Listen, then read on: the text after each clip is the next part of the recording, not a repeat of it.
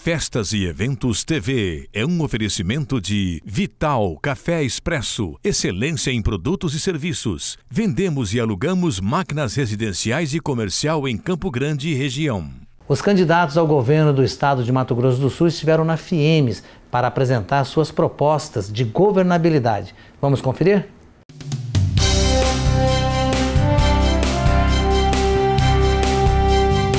FIEMES realizou o Encontros com a Indústria, um evento que reuniu os candidatos ao governo de Mato Grosso do Sul para expor as dificuldades, expectativas, metas e propostas do setor industrial. Foi apresentado um conjunto de propostas que permite ao nosso industrial verificar o que é melhor para a indústria. Então, acho que aquilo que eles apresentaram será possível essa tomada de decisão.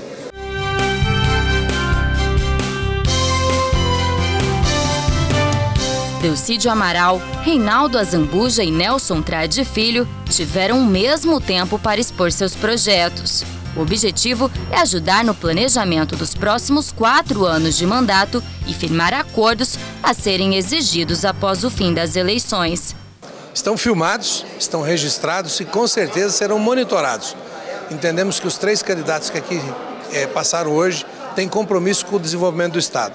Para nós implantar as propostas é de extrema importância, porque essas propostas foram debatidas por um longo tempo com todo o setor produtivo do Estado e nessa condição os candidatos assumiram compromissos conosco hoje e vamos monitorar e vamos implantar essas propostas para que a recessão não chegue ao nosso Estado.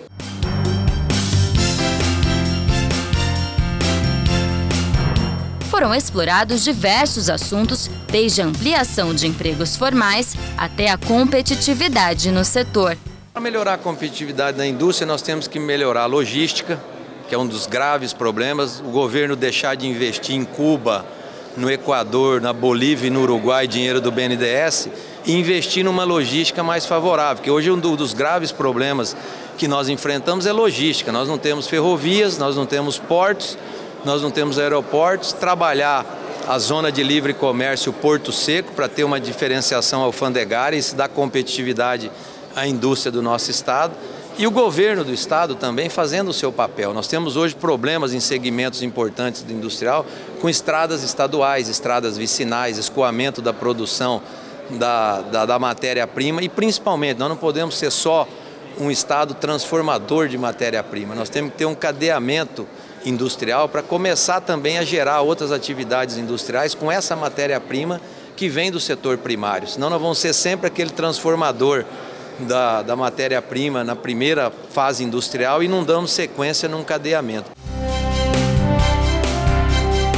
A burocracia que os empresários encontram também foi outro ponto discutido que precisa ser estudado para encontrar caminhos mais rápidos.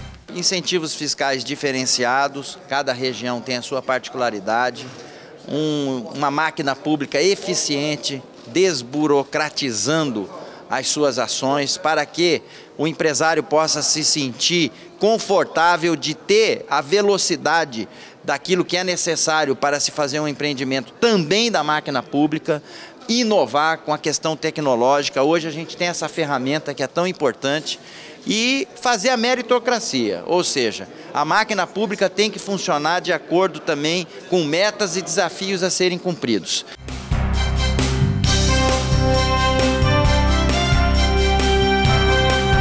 Os licenciamentos ambientais trouxeram problemáticas que interferem na instalação de novas empresas. Nenhum empresário aguenta ver dormitar um processo, ficar dormindo nas gavetas, um processo de licenciamento ambiental. É, nós temos que ter um fast track, nós temos que ter uma coisa rápida, ligeira.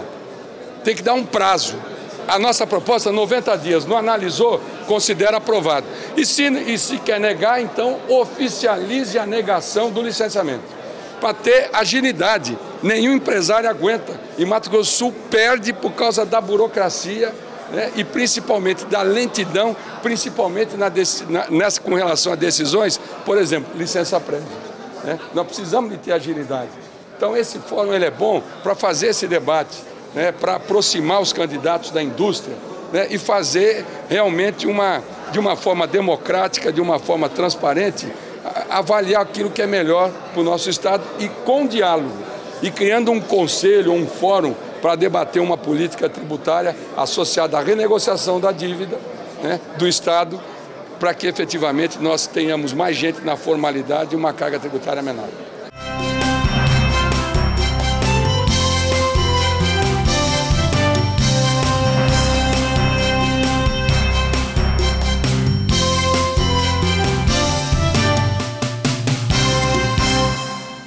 Para ter no seu celular todo o conteúdo do Festas Eventos TV, você pode fazer o download do aplicativo pelo Google Play ou pelo App Store. Assim você vai ficar por dentro de todos os acontecimentos da capital e do estado. Assista o Festas Eventos TV também na sua televisão. Basta sintonizar no canal da Band, aos sábados às 20 horas e 20 minutos, também aos domingos, logo após o Pânico. É isso aí, meu jovem, te espero.